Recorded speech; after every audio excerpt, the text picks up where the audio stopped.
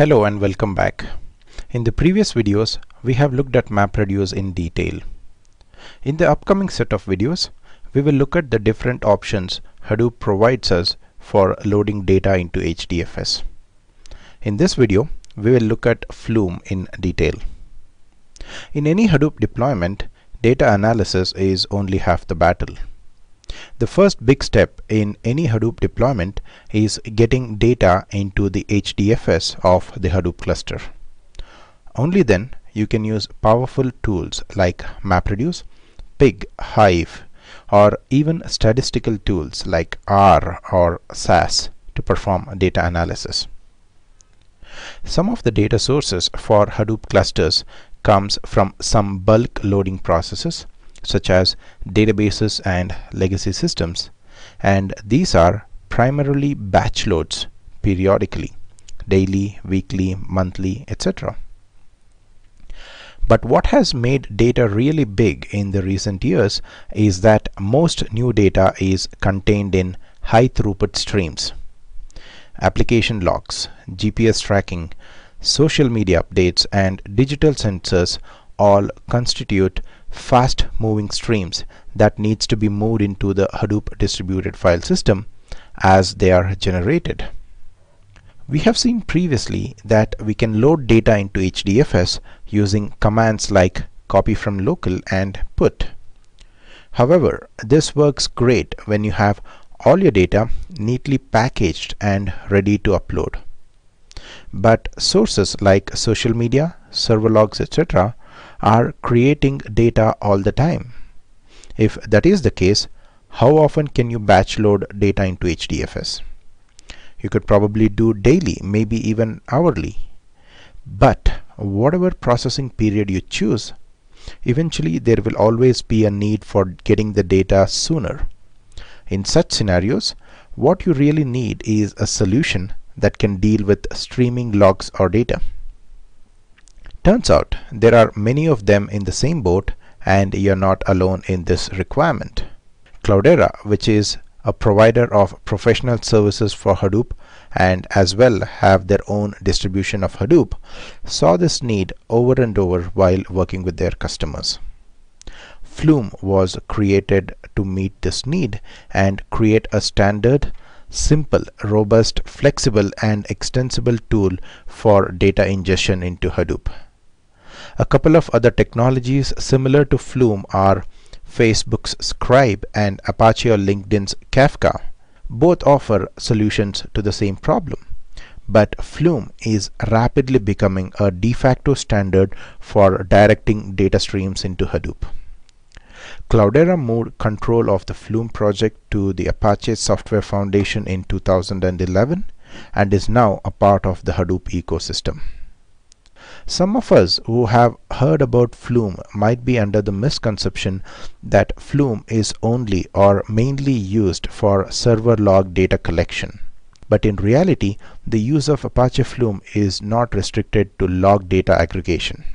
Since data sources are customizable, Flume can be used to transport massive quantities of event data including but not limited to network traffic data, social media generated data, email messages and pretty much any data source possible. We will see some of the examples later on. But what exactly is Flume? Flume is a distributed, reliable and available system for efficiently collecting, aggregating and moving high volume streaming data flows from many different sources to a centralized store. Apache Flume uses an elegant design to make data loading easy and efficient. In this video, we will describe the basics of Apache Flume and illustrate how to quickly set up Flume agents for collecting fast-moving data streams and pushing the data into Hadoop's file system. We will be using Flume NG to explain the same where NG stands for new generation and is the work related to the new major revision of Flume. The architecture of Flume is based on a few core concepts. Event. An event represents a singular unit of data that can be transported by Flume from its point of origin to its final destination. Examples of an event can be a single log entry or maybe a tweet. It is made up of headers and a byte array body. Client. Basically clients produce data in the form of events and transmit the events to the source. Then we have source. Source is just what it sounds like. The part of Flume that connects to a source of data and starts the data along its journey through a Flume data flow. Sources operate by gathering discrete pieces of data, translating the data into individual events, and delivering it to the channel. Simply put, Flume sources listen for and consume events. Events can be anything like a tweet or a log entry. It all depends on what sources the agent is configured to use. Flume agents may have more than one source but must have at least one. And then we have channel. Channels are the mechanism by which Flume agents transfer events from their sources to their sinks. They are a transient store for these events before they are drained by the sinks. A source stores an event in the channel where it stays until it is consumed by a sink. This temporary storage allows source and sink to run asynchronously. Then we have the sink, which is an interface implementation that can remove events from a channel and transmit them to the next agent in the flow or to the event's final destination.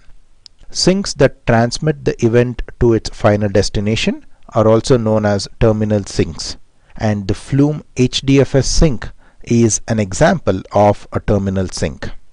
And finally we have an agent. It is an independent process that acts as a container for the entire Flume data flow.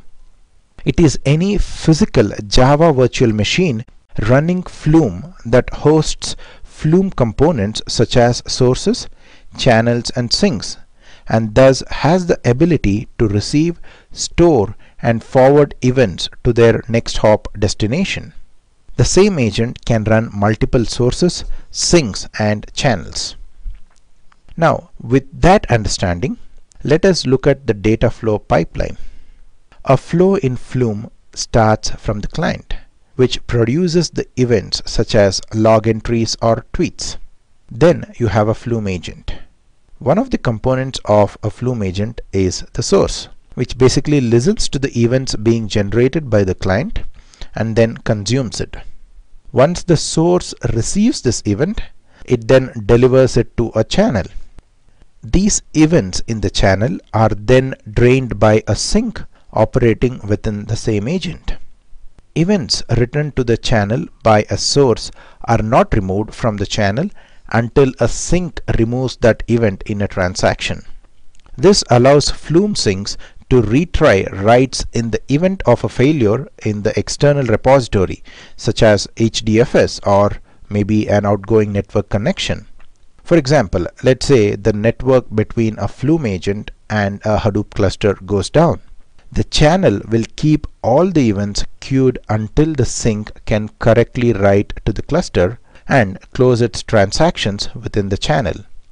Channels allow the decoupling of sources from sinks using the familiar producer-consumer model of data exchange. When spikes in client-side activity cause data to be generated faster than what the provisioned capacity on the destination can handle, the channel size increases.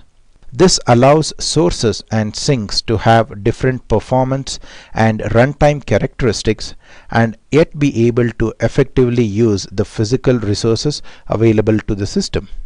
Flume agents can be chained together by the sink of one agent to the source of another agent. This enables the creation of complex data flow topologies. Now to quickly summarize, clients generate events, sources listen to and consume these events and delivers it to the channel. The channel acts as a transient store for these events till the sink drains the events from the channel and writes it to the destination. Now we can also have multiple clients generating the events and have one or more sources listening to these events which can then be delivered to multiple channels and finally you can also have multiple sinks draining these channels with the events as well and add to this remember like we said earlier you can have one Flume agent connected to another that is, the sink of one agent might be the source of the next agent in the pipeline. A sink is basically called a regular sink if it forwards the event to its next hop destination, which is another agent. Or it could be a terminal sink if it forwards the event to its final destination, such as HDFS. So as you can see, a lot of complex such data flows are possible. But before we go there, let us first download and set up Flume. Go to the link shown here and then click on the Apache Flume 1.5.0 bin file. This link will then suggest us a mirror for download. So right click and copy the link address and then launch PuTTY as HD user. So here we have used PuTTY to connect to a virtual machine and logged in as HD user. Now let us do a wget of the URL from the home directory of HD user. So this might take a couple of minutes to download the .gz file based on the internet speed. Now once the download is complete successfully, let us check the file downloaded. So as you can see, you have the Apache bin 1.5.0 .gz file. So let us unzip this file.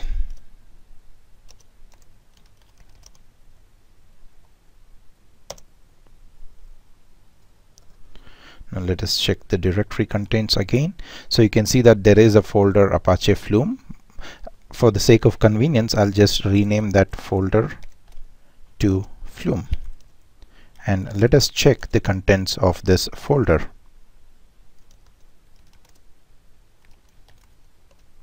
So as you can see, you have the standard folders bin, conf, lib, etc. Let us check what is there in the bin folder.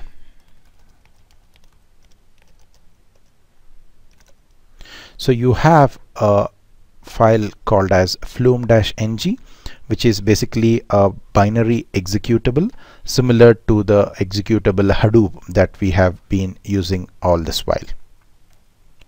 Now let us quickly check how to use this file. So let us type bin slash flume-ng and then help. So it basically lists out the various commands that are possible with the flume ng executable file. Now with this we are now ready to set up and configure and subsequently run a flume agent. But for that, let us spend some time going over how to configure a Flume agent and what are the things that we need to consider when we configure a Flume agent. Now, we configure the details of a Flume agent using a simple Java property file consisting of key value pairs in a hierarchical setting. The configuration file enables you to perform the following tasks.